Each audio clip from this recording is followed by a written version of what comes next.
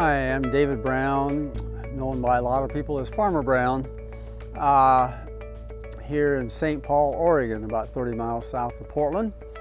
And we raise organic vegetables, a wide variety of lettuce and cole crops and squashes and as you see behind us, kale. And uh, then we have a fun crop, giant pumpkins, which we've kind of been known for around the territory right now. In fact, we're even on some billboards for Fred Meyer, our Northwest chain.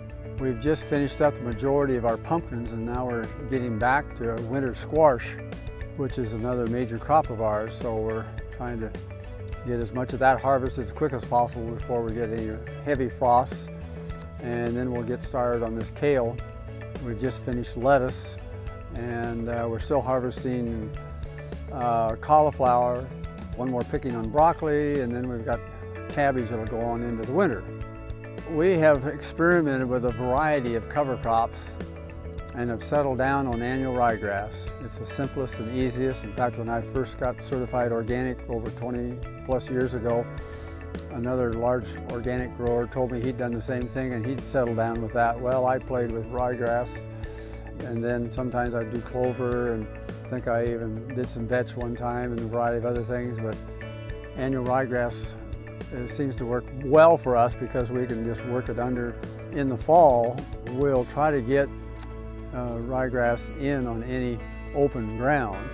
Uh, and that varies with the year and how the rotation's going. It works well to get as much in as possible every fall and add the organic matter and so on to the soil in the spring, which improves our crops. I do do some intensive addition of mulch to some fields, only an acre or two is all I have it for, and I've seen a crop improvement on that. And so I just, and I can see when we do soil tests every couple of years, there is some increase in organic matter, and I think it also helps uh, keep the nutrients in the ground. And, and also, for us here in Oregon, people think we're wet. Well, we are, but if there's nothing on the ground, the ground is just really packed hard. So having vegetation on top of the ground keeps the ground from packing that much. As far as here in our climate, cover crops can be a little bit of an issue working in a wetter climate than other places in the country. You can read about cover cropping and how wonderful they work under and everything too. Well, I think a lot of places in the United States things dry out a lot more than we do here and so we have to find a cover crop that'll work in and we can have some flexibility with our wet springs that we generally have. But other than that, it's a good thing.